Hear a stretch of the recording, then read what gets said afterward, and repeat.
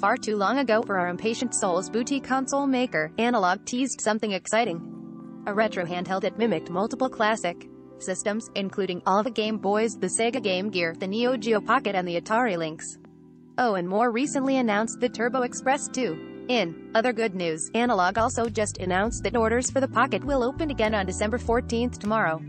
The slightly less good news is that at $220 it'll cost $20 more than originally planned but you can blame the virus for that and its impact on supply chains. Finally, it's here and it's still just as exciting. So much so that the short time I've had with the Pocket isn't enough to give it a deep dive review it deserves. You have to remember, this thing not only plays old games from original cartridges. It does so using a party trick called Field Programmable Gate Arrays, or FPGA. All you need to know is that FPGAs effectively mimic old consoles at the hardware level. When you plug in a game, it thinks it's an original Game Boy, or whichever system for the relevant adapter you might be using. Couple that with a display custom designed to replicate vintage screens, corks and all, and this has all the ingredients to be the most authentic retro handheld you can find. Our early testing with the Game Boy Original and Game Boy Advance Games indicates this really is one of the most authentic experiences you can find. Pretty much the moment you pick this thing up you know you're in for a treat. If the original Game Boy had been released today with a Scandinavian design, thesis what it would look like.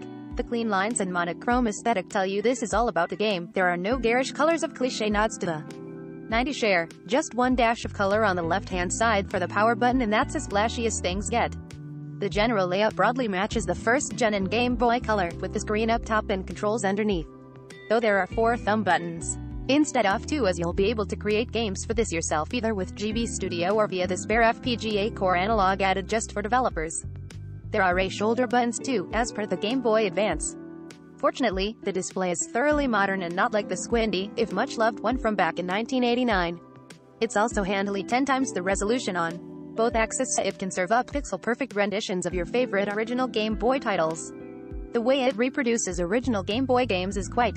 Turn the pocket on and the minimalist interface leads you straight to the good stuff, playing games. I won't lie, firing up Tetris for the first time and changing the Pocket's display mode to the original green and black Game Boy mode was quite the dash of nostalgia. I've played Game Boy games on several modern handhelds and none of them looked like this. Even the pixel grid of the original is here, the motion blur, if you want it, the sound. Everything felt just as it did all those years ago. The same goes for Game Boy Advance games. If you ever owned the first model of GBA, you will painfully remember that it still didn't have a lit screen. The Pocket does but everything else matches, including a preset for that slight washed out look that comes with just colors on a non-illuminated LCD. You can, of course choose a more modern display mode if you like but purists are going to love the attention to detail here.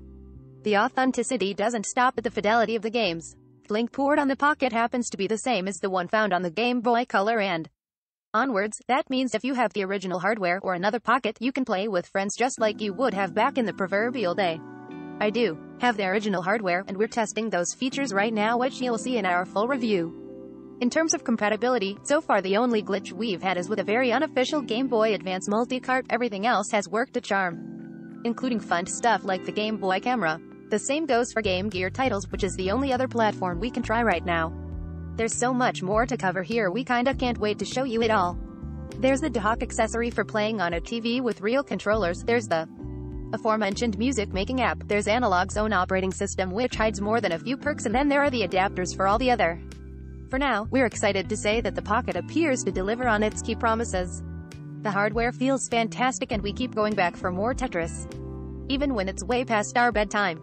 You'll just have to wait a few more days for our comprehensive review. All products recommended by Engadget are selected by our editorial team independent of our parent company. Some of our stories include affiliate links. If you buy something through one of these links, we may earn an affiliate commission.